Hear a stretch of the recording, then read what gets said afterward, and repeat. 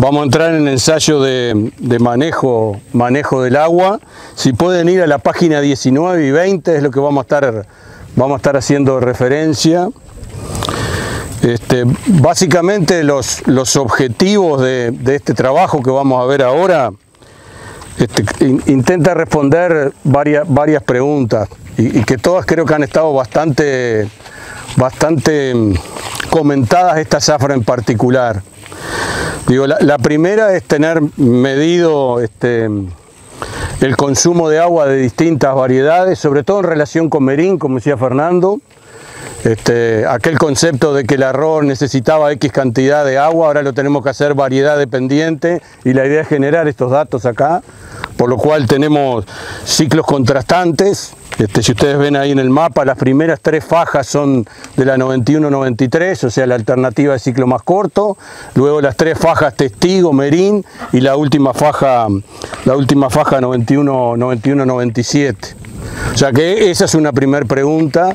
Después la otra pregunta que está dentro de este ensayo acá, que también estuvo muy comentada y está muy comentada esta zafra, es ¿cuándo es el mejor, hasta cuándo tengo que regar? ¿No?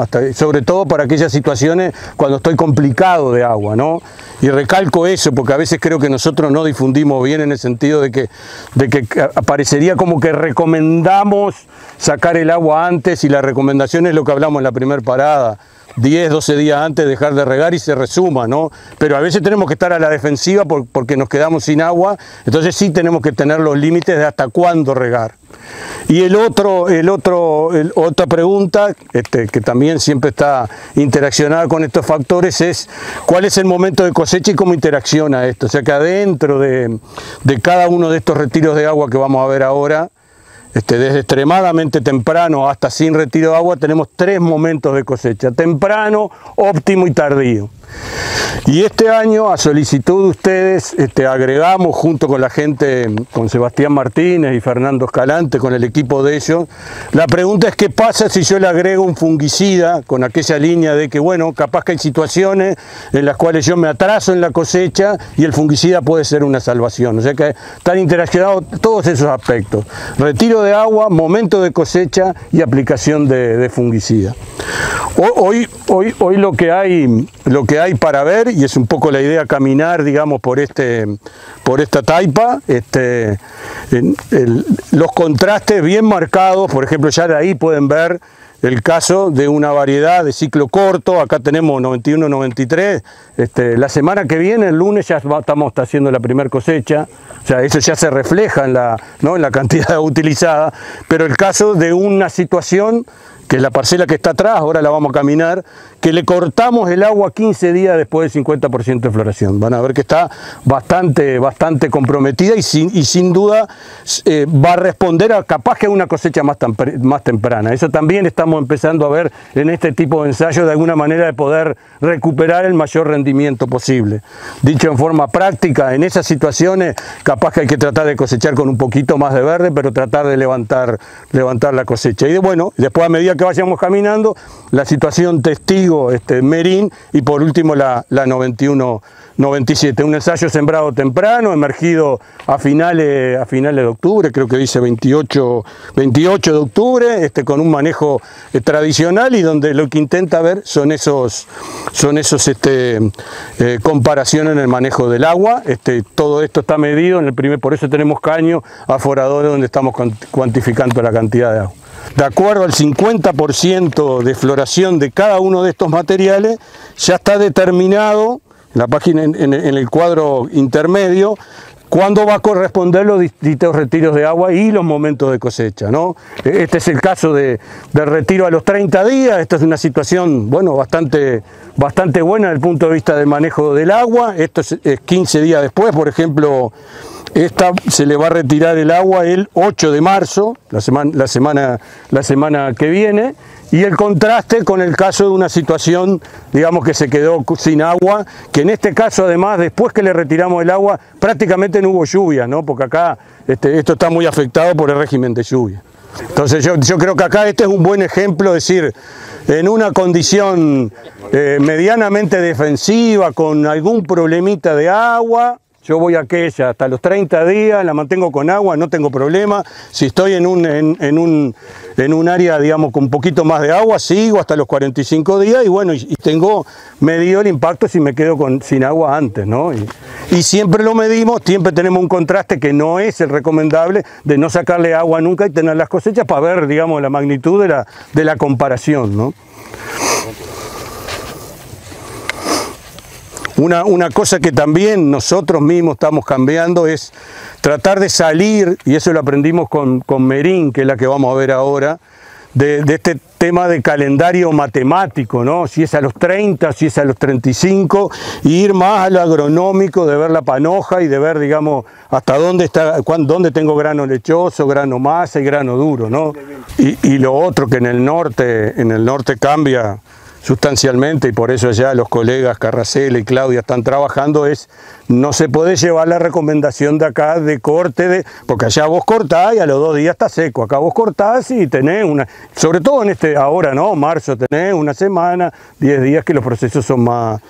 Ahora estamos pasando, digamos, por Merín, este, como ven, Digo, desde el punto de vista de los ciclos no es nada novedoso, ¿no? Totalmente diferente, diferente al anterior. Acá recién tenemos un, un tratamiento con retiro de agua temprano a los 15 días, todavía no se, no se ve nada afectado porque fue muy reciente, ¿no? Este, lo, que, lo que nos cambió un poco, digamos, la, y, ustedes lo saben ya muy bien, es que la verdad que Merín tiene respuesta a, a dejarlo con agua un poco más, porque, porque en definitiva, digamos, estos granos que tiene acá bien, bien insertos, ellos responden, digamos, hasta lo último y a veces son, e, ese peso de mil granos de estos últimos son los que permiten explorar los altísimos rendimientos. Entonces, e, e, el cortarle el agua en aquella lógica que veníamos, bueno, si estás complicado, a los 30 días dejar de regar, en Merín es mejor llevarlo un poco más porque responde muy bien a, este, a, esta, a, estos, a estos granos que están acá en la base, que es totalmente diferente a lo que es 91-93, que es una cosa bien determinada y bueno, uno dice, está, hasta acá se llenó, puedo dejar de regar. No sé, Fernando, si querés hacer un comentario vinculado a... No, es, este, es eso que tú estás comentando, Álvaro, Merín, y creo que también es el caso de 97, 40, que tienen este, un stay green mayor, este, una duración, el llenado grano se hace más lento, durante más tiempo. Y que digo, uno la, hipótesis que tiene que eso es la explicación del alto potencial de estos materiales, en particular para condiciones como las que tenemos nosotros que eh, y, asociado a su ciclo largo, que este llenado transcurre cuando por condiciones astronómicas los niveles de radiación empiezan a caer, pasa normalmente. Este, entonces, tener ese periodo más largo da esa, eso que vemos, digamos, a nivel de la panoja, de una maduración más lenta, y en particular de ese último tercio. Este, digo, son cosas como que van todas atadas. Siempre hemos estado pensando, no lo hemos hecho, pero eh, sería interesante ver el comportamiento de la calidad en términos de cómo es la distribución cómo se estratifica dentro de la panoja. Porque capaz que hay veces que el, yeso se nos dispara un poco más y puede tener relación con ese último tercio incompletamente llenado que de alguna manera contamina con más yeso el, el bulk, el total de la producción. Entonces digo, capaz que por ahí está un poco la explicación de que este, en algunas situaciones de riego más limitado, maduración un poco interrumpida antes de tiempo, este, terminamos con algún problemita de calidad de yeso porque, bueno, hay un sector de la panoja que no logró llegar. Este, y eso se pega por los dos lados, pega por el rendimiento, como dices tú, Álvaro, pega porque el peso de mil granos no se completa de repente. Y pega por la calidad. ese aspecto de calidad. Bien, seguimos caminando y la última que tenemos, que tenemos solo una faja, no tenemos las tres repeticiones, el A91-97 como otro material de ciclo largo similar al Merín, pero con algunas, con algunas ventajas. Nosotros los que estamos aquí más cerca de hacer una, una sintonía fina en relación al manejo del agua de este material que, que en relación al Merín en el aspecto este, de fenología tiene parecidos importantes de acuerdo a algunos hallazgos que son palabras que se usan ahora este pero creo que, es importante. Faltará de repente algún dato más para ir confirmando. Hay una diferencia entre 97 y Merín en términos de la aparición del primordio. El hallazgo que creo que es muy valioso que han, han hecho ellos a través de la información que generan en los bioclimáticos es lo de eh, bueno, ver que Merín alcanza un primordio relativamente más temprano, más precoz de lo que nos podemos imaginar para un material de ciclo largo. Este, eso por, algún lado también podría ser, y lo, lo vamos imaginando así, otra razón, otra explicación del alto potencial de rendimiento en Merín. Este, invertir tiempo consumo de energía o captación de la energía solar en eh, cuando las papas queman este mismo, es decir, en, la formación del estadio reproductivo más tempranamente, uno lo puede imaginar fácilmente como una ventaja frente a pasar más tiempo en vegetativo, que es una cosa que en términos evolutivos puede ser muy importante, ¿no? porque si estás en vegetativo y aparece una vaca y te come, vos tenés la oportunidad más adelante de volver a, arrancar el reproductivo, ¿no? Este, Merín es como una moa, más o menos, en ese sentido, es decir, pasa rápidamente a reproductivo. Este, y eso siempre es muy importante en cualquier sistema.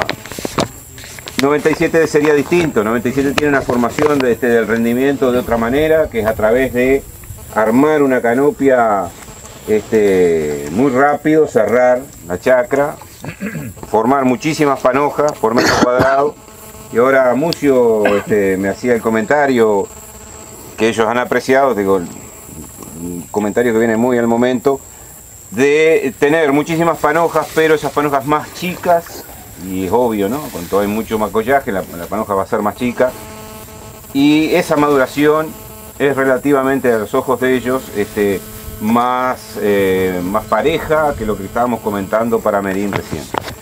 Este, además es un material que claramente tiene una maduración lenta y creo que a través de eh, armar una, fosa, es decir, donde vamos a depositar los carbohidratos, eh, importante por el macollamiento, este, asociado con una tasa de llenado más lenta, tranquila, eh, bueno, eso le da un alto potencial. El hecho de lo que siempre he comentado, este, porque muchas veces se nos preguntan, ¿qué aporta 97? Este, creo que aporta una muy alta estabilidad en el rendimiento, en planos altos de rendimiento, muy altos de rendimiento. Acá hicimos este, en su momento densidad por nitrógeno entre comparando Merini 97 y cuando uno miraba qué tratamiento o cuál había sido el rendimiento máximo de las dos, había en aquel ensayo que estaba muy bueno, 13, 14 mil kilos, habían parcelas este, o tratamientos con ese rendimiento en los dos cultivos pero el camino de alcanzarlo con Merín siempre era más eh, fino. Había que invocar en los manejos eh, de alto nitrógeno, que las plantas estuvieran todas desde el arranque. Y 97 creo que tiene ese elemento de plasticidad en eso, en este rápido crecimiento, mete hoja, desarrolla un gas rápido, bueno, no desperdicia ningún área del suelo, nunca en un buen 97 tú vas a poder llegar a este momento y, o a floración y ver el agua, digamos, como muchas veces pasa con Merín. Un dato final para que, para que se lleven vinculado al uso del agua, la cantidad de agua, que creo que es el, uno de los objetivos centrales. Si, nosotros tomamos el retiro de agua a los 30 días, que está ahí en el cuadro, ¿no? Para 91-93 fue el 21 de febrero, así que ya lo tenemos medido. Para 91-97 es ahora nomás, el 5 de marzo y Merín el 7 de marzo. Hoy ese material 91-93 Ayer lo mirábamos con Matías, no lo veo, ¿dónde está Matías? Ahí está. Lleva consumido 700 metros cúbicos menos que los otros, ¿no? Y a estos todavía dan agua el fin de semana, ¿no? Pero si no, le tendríamos que seguir reponiendo, ¿no? Entonces, digo, estos ensayos son jodidos porque hay que hacerlo varios años por el aporte de la lluvia, ¿no? Pero para, para tener una idea global de lo que uno puede acortar el consumo del agua con el ciclo, 700, capaz que llevamos a 1000, si este fin de semana tenemos que... Como idea general, ¿no? Después la vamos a presentar con la historia, con la historia final.